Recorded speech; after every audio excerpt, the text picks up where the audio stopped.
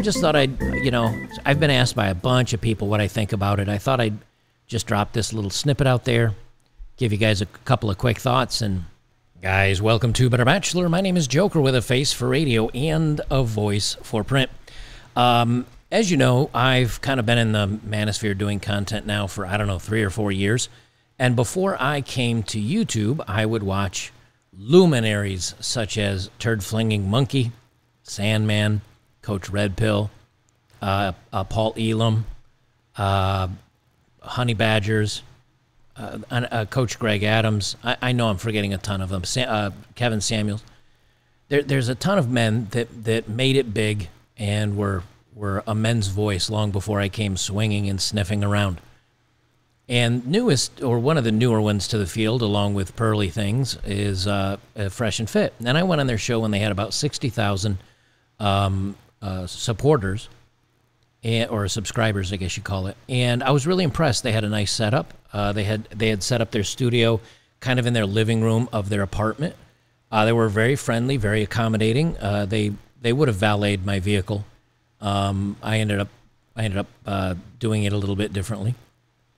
But all in all, really get a great experience. And when I finished the interview with them, I said, you know, this this format of having these, you know, these thirst traps, these women uh, coming on your show is it's gonna it's gonna go big. It's gonna go big. But but I, I will tell you this: make sure you're always bringing in new things because after a while it does tend to burn out. Like you can't do the same thing over and over.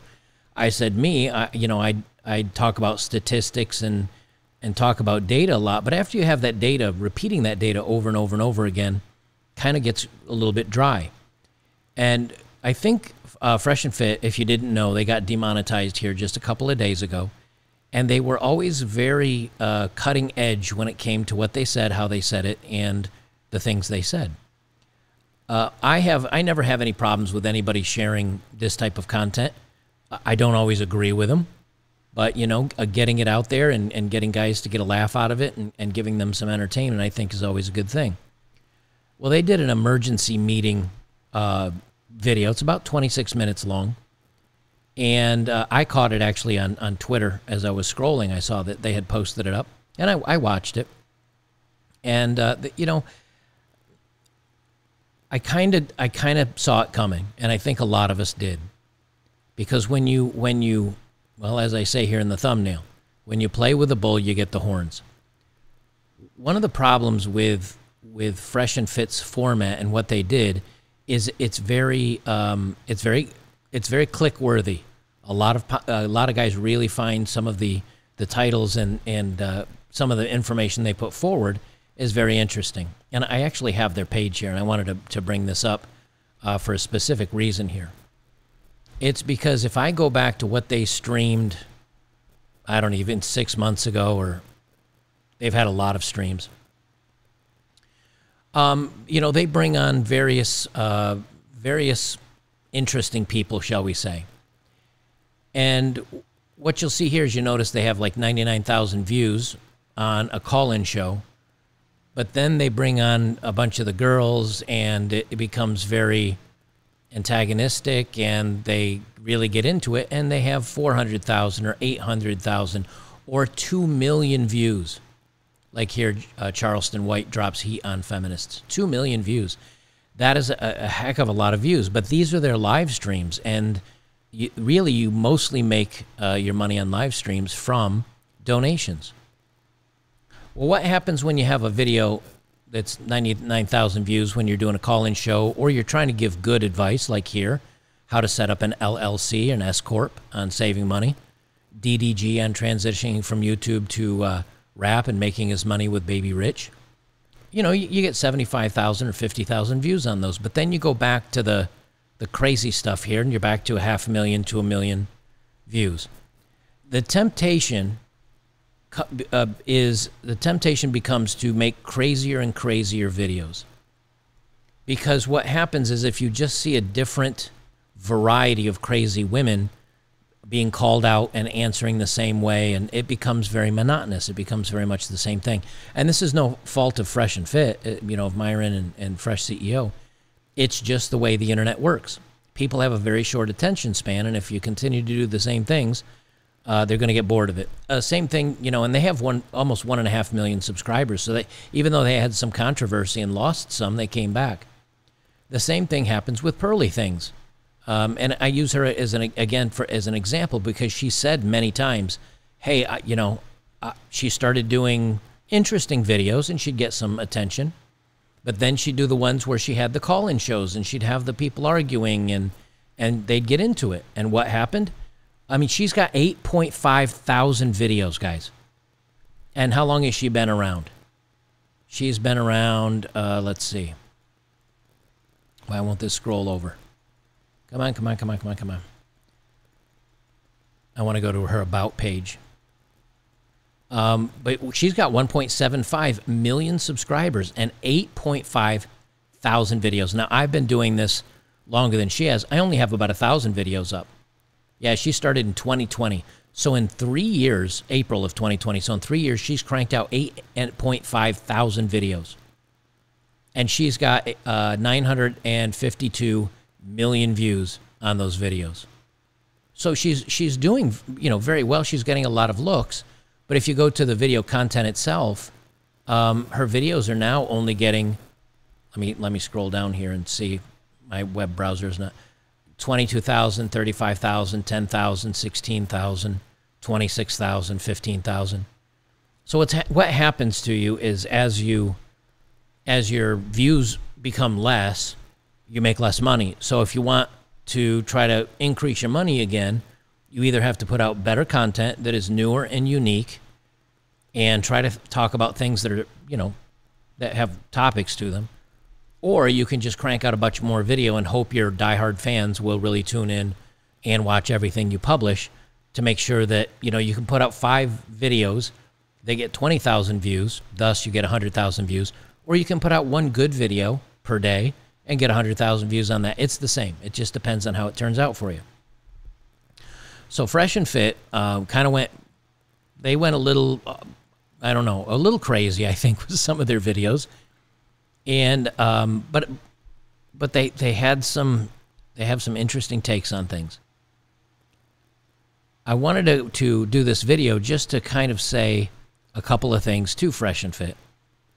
Is number one, when you do play with the bull, you get the horns. In other words, you can now say whatever you want to on YouTube. They didn't remove you, they just demonetized you. And these corporations have no, they have no, you have no contract with them you are a contractor at, at you know, at, on call kind of thing. And they can terminate that contract at any time they want to. And they've decided to do that with them. No more money for you guys.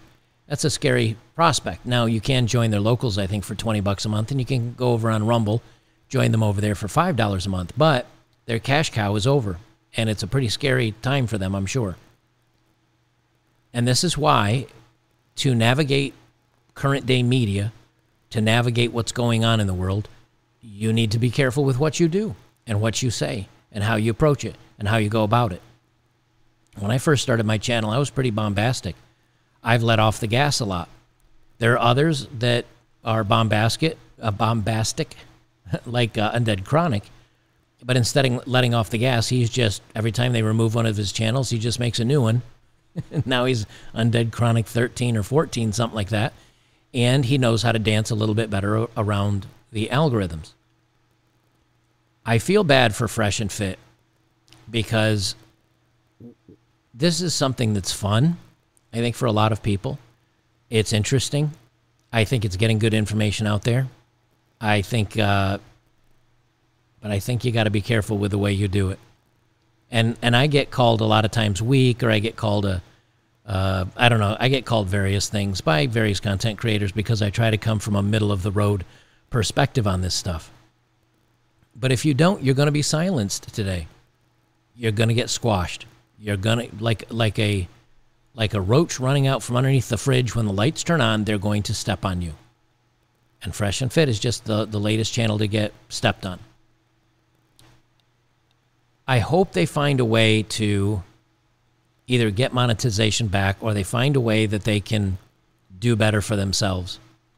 But one thing I learned is that, and I don't remember if I told them this or not. I'm pretty sure I told them this. I said, always remember YouTube is temporary. No matter how well things go, make sure you save and plan for your future.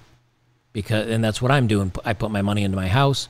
I'm going to be putting some of the, some of the money into a men's retreat. So even if, you know, even if I don't have anything going on, I'll still have a place where maybe a bunch of guys can come hang out. We can make some friendships and things. You try to plan for the future. I saw a fresh CEO with a couple of sports cars, and they're hanging out with some celebs, and on, they're on jets and living the jet lifestyle. I hope they save some of that money. I hope that they don't go into crisis mode because if you're making, I don't know what they made. I'm just going to pull a number out of my hat. If you're making five hundred thousand a year, and all of a sudden it turns into hundred thousand dollars a year, if you don't have everything paid for, if you're not, if you haven't saved up for a rainy day, you it's freak out time. You just lost four hundred thousand dollars a year.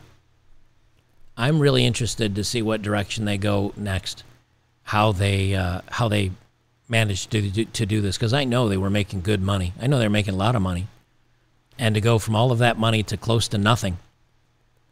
Uh, I, I, I, I feel bad for them, but in the same token, you again you you have to know what you're doing on YouTube, and I think they grabbed the bulls by the horns and the bull gored them, and now they're bleeding out very, very quickly.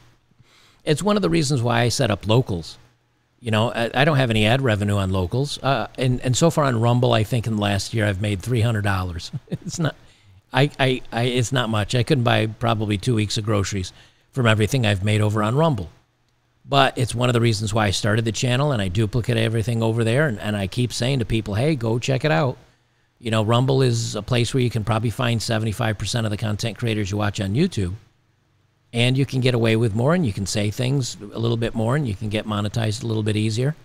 But really, the way forward, the way going forward is going to be membership support. It's going to be, you know, hopefully you can use a platform like YouTube to get enough fans, to get enough people that like your work, to, to get enough support that they can go over there and give you a couple bucks a month. They they're doing theirs for twenty bucks a month at locals.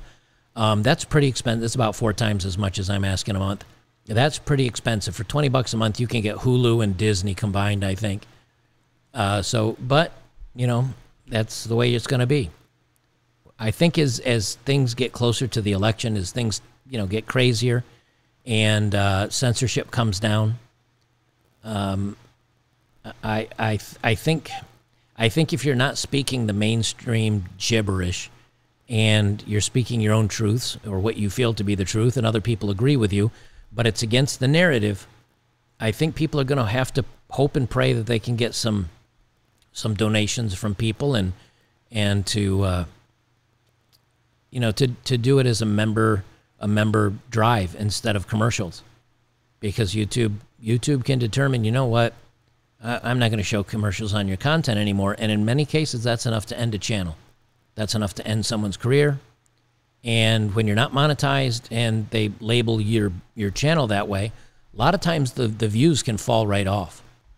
You know, their live streams here, uh, they did this one, which is the why, why might it be the end of Fresh and Fit? What's next? It's 26 minutes. I might suggest go watching it. It's semi interesting. They got 367,000 views on that. Um, but here you can see on their most recent ones, 200,000 views, 200,000, 200,000. They're kind of doing kind of the same thing that they've done along here. Um, but but even their advice, even their advice stuff that was getting you know 50 to 100 or 200,000 views, even now they don't have anything for any of it. And so I wonder I wonder if this tag given to them by YouTube is going to mean that they're not suggested in search anymore and you know things start falling off because even they've got 1.3 so they've got 1300 uh, videos out there as well why does this not want to scroll over? Gosh.